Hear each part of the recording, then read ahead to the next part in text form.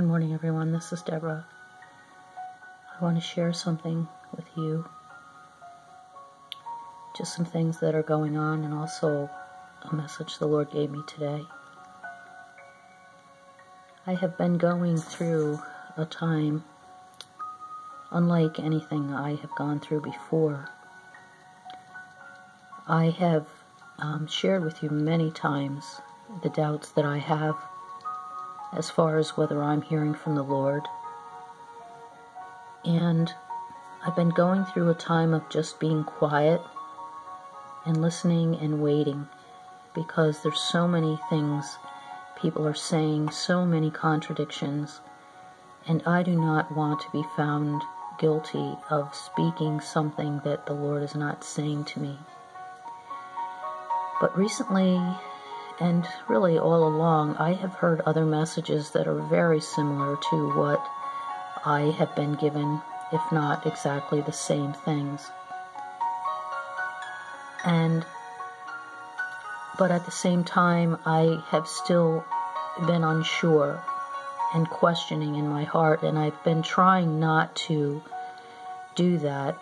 And so I've really basically been waiting on the Lord to speak to me and each time I would go into his presence, something began to happen. And I've shared many times that I have a lot of physical manifestations of the workings of the Holy Spirit.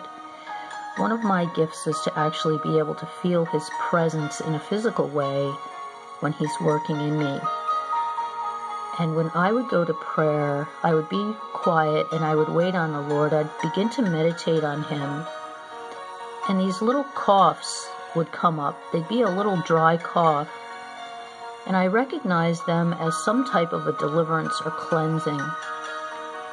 So I was encouraged by that, even though at the same time I was having a lot of doubts about things. Um, I hope I can get through this without crying because our Father is good to us. This morning, I was feeling a manifestation that I have not felt before, and I really can't even explain it, and I couldn't understand it. I knew it was I knew it was the Lord because it was so deep inside of me but there was a lot of different things going on in different areas in my chest, in my head. And I asked the Lord, I said, Good morning, Father. Something is happening inside of me, and I don't know what it is. And I heard, It is I. And then he gave me a message. But before I sh- tell you what he said. I want you to look at this. I had to look it up to see if the Father had ever actually said, It is I. I know he said, I am that I am, and there's a lot of other things, but I wanted to see if he actually said, It is I. And here in John 6, he's talking to his disciples when the storm was rising in the in the sea and they were afraid. And he said it is i. Do not be afraid. So i got my notebook out and i began to write. And this is what i believe he said to me. I said i believe he gave me isaiah 27 this morning to read. Will you tell me what you want me to know? And his answer is this It is I, child. I am here. I will break through the hearts, the minds, and the souls of my people. The time is now. The time is now. Do you not see? Do you not hear? Every eye shall see me every ear will hear me. I will not disappoint my beloved. My people have been waiting a very long time for me to make myself manifest through them. But I tell you the truth, the time is now. The great awakening, you will feel it, you will see it, you will taste it. Nothing will remain the same. Trust me in this. Do not look back, look to me, the author and the finisher of your faith. Now, as I said in this, uh, as I began, the Lord gave me Isaiah 27 this morning. I was walking the girls and I was asking him if there was anything that he wanted to say to me. And I clearly heard Isaiah 27, and I want to read that to you now. The Lord had given this to me years ago, and I actually, uh, you know, highlighted some of it. And I felt that I knew what he was saying, and I want to read this to you, and I'd like you to take this to the Lord and find out what he would tell you about this passage. In that day, the Lord, with his sore and great and strong sword, shall punish Leviathan, the piercing serpent, even Leviathan, that crooked serpent, and he shall slay the dragon that is in the sea. In that day sing ye unto her a vineyard of red wine. I, the Lord, do keep it. I will water it every moment, lest any hurt it, and I will keep it night and day. Fury is not in me. Who would set the briers and thorns against me in battle?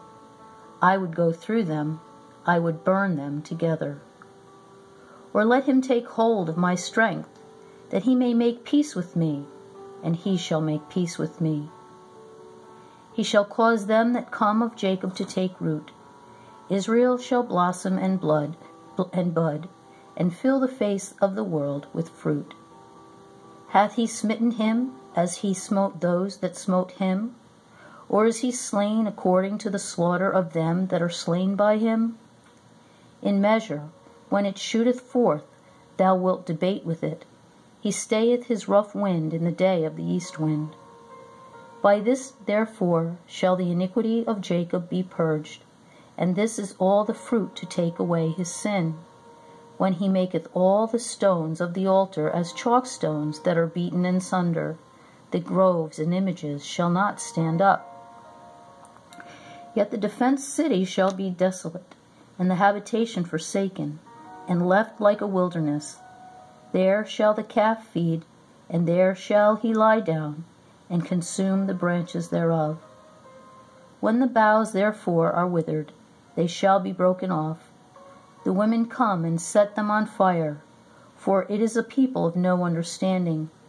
Therefore he that made them will not have mercy on them, and he that formed them will show them no favor. And it shall come to pass in that day that the Lord shall beat off from the channel of the river unto the stream of Egypt, and ye shall be gathered one by one, O ye children of Israel. And it shall come to pass in that day that the great trumpet shall be blown, and they shall come which were ready to perish in the land of Assyria, and outcasts in the land of Egypt, and shall worship the Lord in the holy mount at Jerusalem. I shared with you in one of my videos a while ago that I was told as I was riding in a car that I was going to Jerusalem. And I pondered it and I thought, how could that be? And we stopped at a red light and the light changed and it turned green. And we turned left and we were riding along and I saw a, a sign by the side of the road, and all it said on the sign was Jerusalem. And I've never seen that sign again. I'm going to Jerusalem, and so will those that the Lord has been preparing. I love you guys. We'll see each other soon. Bye.